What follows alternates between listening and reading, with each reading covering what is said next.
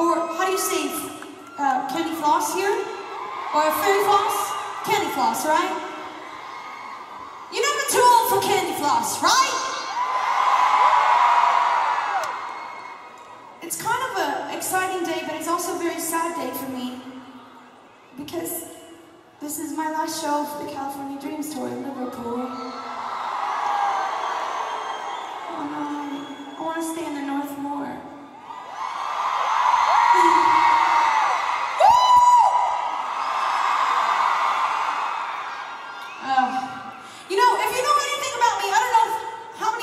Your first time seeing me tonight.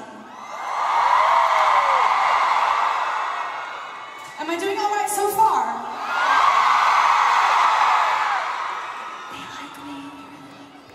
Well, I don't know if you know this about me, but first of all, I'm a mega weirdo.